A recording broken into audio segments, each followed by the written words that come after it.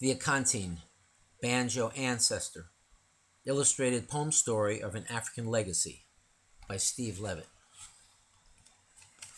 Dedication This book is dedicated to the Jola people of the Casamance region of southern Senegal, the Gambia, and Guinea Bissau in West Africa, among whom the traditional folk lute, the Akonting, also called the Ekonting, was first known. It is dedicated to all those, known and unknown, named and unnamed, over the many years who contributed to the Akonting's creation, playing style, and musical tradition.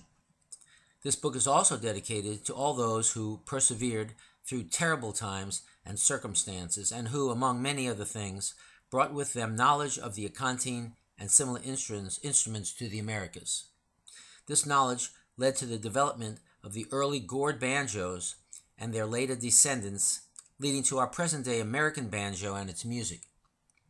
Profits from the sale of this book will be donated to the Akonting Center for Senegambian Folk Music, Mandinari, Gambia. Acknowledgements. First, I'd like to acknowledge Baba Chuck Davis, internationally recognized artistic director of the African American Dance Ensemble, Durham, North Carolina. Uh, Baba Chuck first introduced me to the Akonting when he first asked me to perform in the 2008 dance concert Bluegrass Brown Earth, portraying the story of the banjo from the West African Akonting to America. The poem From Africa to Bluegrass Sound, Let the Strings of a Akonting Resound, that I wrote and performed as the narrative storyline in that concert, later became the inspiration for this book. I would like to acknowledge Gambian Jola folklorist scholar Daniel Jatta for first pioneering the research that brought attention to the importance of the Akonting in relation to the early gourd and Southern American banjo, and for his ongoing efforts to preserve and continue this musical tradition. It was through reading Daniel Jatta's many articles that I first became acquainted with much of the Akonting's vital history. I learned much of what I know about traditional Jola playing of the Akonting from, both from numerous published descriptions and from watching videos of Jola musicians. Three in particular are master Akonting players Jules Ikana Jatta and Remy Jatta of Mlomp, Casamance, and Sana Ndiaye uh, of Senegal. I would like to generally acknowledge as a group all of the banjo musicians, collectors, researchers, and scholars who have contributed to the knowledge base of the banjo. Regarding the Akonting, I would like to thank a few individuals for their contributions, which I have found extremely helpful professional entertainer, musician, banjo historian Shlomo Pestcoe in New York, ethnomusicologist, musician Greg Adams in Maryland, banjo collector, historian Ulf Jagfors in Sweden, banjoist researcher Nick Bamber, Great Britain, musician banjo researcher Chuck Levy, Florida, and musician actor banjo researcher Paul Sedgwick in Massachusetts. I would like to thank instrument making musician Charles Wazir Johnson for giving me the opportunity to purchase my first Akonting. I would also like to extend my sincere appreciation to a wonderfully skilled instrument maker, John Pringle, Efland, North Carolina, for taking the time and doing the research to carefully follow traditional Jola techniques in fabricating several Akontings for me. Finally, I would like to thank my wife, Joan, for her patience, for proofreading the manuscript, and for her never ending support throughout this project, as always. This is a fascinating story based on recently uncovered and seldom known history about the legacy of a distant ancestor of the American banjo, the West African Jola Akonting. Its unique combination of a specific playing style, along with a key structural feature, both found in the present open back five string banjo and its music, strongly suggests the Akonting as an important predecessor of the banjo we know today. This history recounted in rhyming narrative form, along with illustrations, follows the banjo from its roots in West Africa across the middle passage of the transatlantic uh, slave trade to the Americas, where it continued to evolve into its present form. My interest in increasing public awareness of this compelling and important history was the inspiration and driving force for this book. You are about to read a story that most people don't know. a story rooted in the history of the present day banjo. It is an amazing journey, and once it has begun, it will become even more compelling as you use your imagination. So now let it begin, let it unfold, let the story of the banjo now be told. Across the continent of Africa, traditional peoples drum and dance to help them do their work, and also to enhance the fabric of their daily lives, honoring birth, marriage, death, and the sacred ties. The rhythm songs, and dances are considered as one, sometimes sacred or religious, and sometimes fun. A rhythm song and its dance are each called by the same name, not separated from each other or performed for entertainment or personal gain. Totally integrated into everyday life to honor, celebrate, support, and help reduce strife. And with this as background, now let us behold the story of the banjo's ancestry in the distant days of old. Hundreds of years back in time, no one knows exactly when, in Senegambia, West Africa, it all did begin. The Sen- Senegal, the Gambia, and Guinea Bissau are the West African nations where the Jola people are found. In the village of Kanjanka, as the story is told, along the banks of the Casamance River in southern Senegal, live the rice farming Jola people, among whom one day appeared an amazing new musical instrument that none before had peered. A stick attached to a skin covered gourd and having three strings, they named it akonting, a traditional folk instrument with short top string. Played by the common folk, not griots or professional musicians, the music played was secular and not of religions. The stick, made from papyrus stalk, they called bang, bango, or bangiolo, sound familiar? Similar to the name of what we now call banjo? A cut open calabash gourd covered with stretched goat skin, through which the stick did pass a short way out the other end. Three different length strings from palm roots, they were cut, were tied to the stick bottom and then attached higher up, using movable cord tuning rings, one for each string, to create the needed tension for the proper notes to ring. Stretched across a movable biped bridge sitting on the skin, the strings were pulled tighter until the desired notes did begin. They named the notes of the three open Akonting strings Kan, Jan, and Ka to honor the birth home of this wonderful musical thing. Kan for the short top string note played by the thumb, with thumb sometimes dropping down to Jan on the longer middle string. The top and middle strings each had only a single tone, the open string sound, played by thumb and known today as the drone. Finally, Ka for the open note of the longest string, this string placed at the bottom on the akonting. Three notes could be made by pressing this long string the open note ka, and two more that let the akonting sing. With five notes altogether, a pentatonic musical scale was played, with kan the fifth note, jan the root, and ka the flatted seventh made. To play the akonting the traditional way, the back of a finger came into play. First, the fingernail of the middle or index finger brushed down on the long bottom note string to make it sound. Followed quickly by thumb on top of middle string, making backbeat. The rhythms sent out were really neat. The Jola people could dance to those rhythms alone, no need for help from drums or bones. Although drums and clappers they sometimes did play, together with the Akonting to sing and enjoy the day. This downstroking style of playing strings, please note, the Jola is called utek, which means to stroke.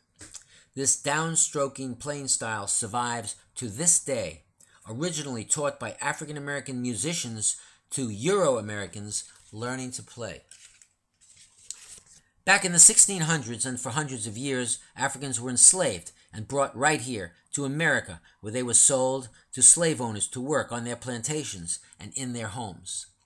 Captured in Africa and chained on slave ships, sometimes no space between them, not even for hips, taken by force to leave their loved ones and homes and travel the deadly seas, afraid and alone.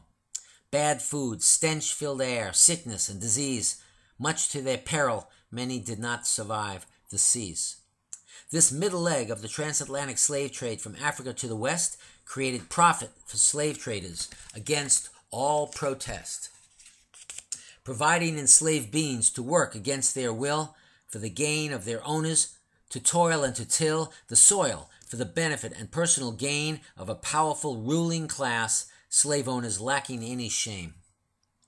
They were brought to the Caribbean and then to America's shores, among them many Jola people, who with them was brought the Akonting, it is said, for music to be played, hoping better survival rates of slaves on those ships would be made. And to this day, the Ajola story of old is that Akonting players were warned and told not to play music down by the river at night, for many disappeared and were, and were forever out of sight. It was thought that the devil had taken them away, only shoe prints in the sand were left there to stay. The slaves were taken and they were sold. No drums allowed in many places, they were told. At times in the Americas, laws banning drums were passed, and by many slave owners a similar die was cast. Slaves playing the drum was often feared, but through resourcefulness and creativity, their traditions persevered. They kept their spirit and culture alive. They took their rhythms and improvised by, instead of a drum, using body, hands, and feet, as in Africa, to play their rhythms and keep the beat. Keep the beat is meant to mean survival, maintaining cultural roots, identity, and community themes. Sometimes with little food and often with not much hope, the bone of the ham they used to flavor their soup. They passed that bone one family to the next, sharing the flavor that was left, showing strong sense of community, caring and support, making the best of the terrible situation in which they were caught. They were creative, resourceful, and wise, and the bone of the ham literally and symbolically helped them survive. And the name hambone, some have taken to mean the will to survive by creative means. And that name hambone was later given to improvised body rhythm. Because that body rhythm, it did the same, it helped an enslaved people to remain in touch with their cultural traditions and ancestry. They saved and played their rhythms as a way of setting them free. Free from oppression, free to hope and dream, free to find self and self esteem hambone, pattern juba, hand jive, African tradition, they helped survive. And in order to create that hambone rhythm slap, the body was played with a pat. Hands hitting arms, legs, face, and chest to create a rhythm that was liked best. Now, exactly when and how the Akonting came to the land of America, a mystery still remains. During the Atlantic slave trade, other instruments came as well, but in this story we focus mainly on the Akonting itself. Whether brought physically by slave ship on sea or instead created from a shared memory of the Jolas and others who in the Caribbean, living as slaves, started making gourd instruments from what they could remember and save.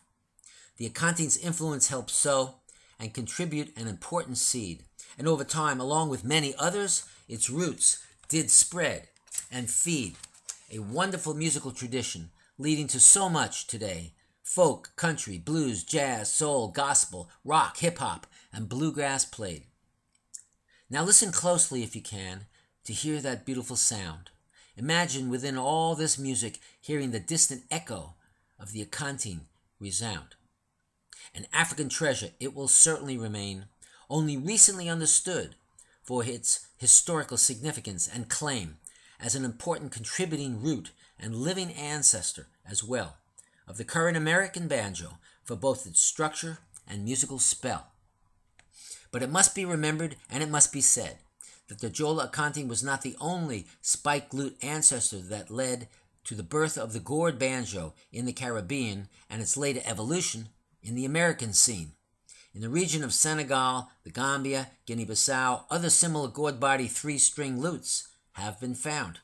The Manjaak have the Buchundo, the Bujogo have the Nopota, the Papel, the Busundi, along with Kusunda and Kasinta of the Balanta. With the exception of the Kusundi, all have a short top string, but the Akonting alone combines this uniquely with downstroking. American music would never again be the same, forever altered by the African musical sensibility that came infused and influenced by a new richness and feel with incredible syncopated rhythms, having tremendous appeal. So over time, the Akonting and other West African lutes were altered in the 1600s in the Caribbean and later, where the lutes arrived and were vaulted into the forefront and leading the way for the early slave gourd banjos created back in those days, which themselves then evolved over time and in places into the four and later five string banjo that hold past traces. But the Akonting's basic uniqueness has never faltered, even though over time its descendants certainly have been altered, in that the way it was constructed and also played is the basis of our present banjo instrument today. A short top drone string and down picking style, a unique combination that has lasted all this while. Banjar, Banzel, Banza, Bango, Banji, Banshore are some of the names attributed to gourd banjos contributing to the same. Across the years, in many places and forms, the evolving banjo and its names were certainly born. And today we say banjo. This is the name, but its original spirit remains unchanged. From the Akonting and similar lutes to the gourd banjo, over time the Akonting's looks and sounds were destined to go. The early gourd banjo soon had flattened neck and tuning pegs, and over time many changes that ultimately led from fretless to frets, and in America over the years from gourd body to pot, later on resonator, and tuning gears. Beginning in the mid 1800s, the minstrels had quickened the pace, minstrels traveling around and playing music in blackface having learned from African Americans how to build and play well, creating enormous public interest and popularity of the banjo. Minstrelsy, however, a terrible disgrace, making fun, ridiculing, and denigrating people for their race. During the Civil War, many banjo players joined the army on both sides. Finding a banjo after a battle was often considered a great prize. Those banjo players taught untold numbers of other soldiers how to play. After the war, soldiers spread enthusiasm for the banjo across America in every way. From the South to New England, from New York to cattle drives in the West, from the Appalachian Mountains to California, interest in the banjo found no rest. The times were changing in this place. Musical change was occurring at a very rapid pace. But that short top string played by thumb, a drone, and the Akonting's down picking style had found a new home. Frailing, thumping, and clawhammer became their new names. Fingers brushed down, then the thumb came. Afro inspired syncopated rhythms filled the land, helping create the sound of the old string band. That old string band music had its origins, for sure, in the fusion of Euro and Afro music traditions that came to America's shores. The English, the Irish, the Scottish, and more brought their songs, music, fiddle, and dancing to explore. White, black, and Native American contributions, we are told, together and apart, helped this American music unfold. And with a shuffle on a fiddle by a rosin bow, and with bones or spoons to keep the rhythm flow, people listened to that sound and they heard it ring. They listened to that fiddle and banjo music sing. And with some dance steps on the floor, buck dancing, flat footing, clogging, and more. They danced those rhythms and kept the beat and played that music with their feet. And then one day it did show bluegrass three finger uppicking on the five string banjo. This uppicking style has a history of its own with, with echoes from Africa, it has been shown. Evolving and changing over the years with many contributions pleasing to the ears.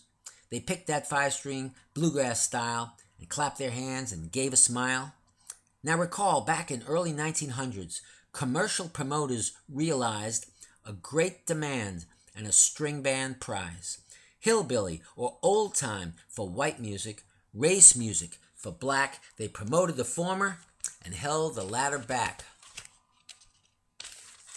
White music was recorded, promoted, and flourished. Black banjo and fiddle players were rarely encouraged. Much of the black community ignored the banjo. a reminder of the cruel parodies of the past minstrel show.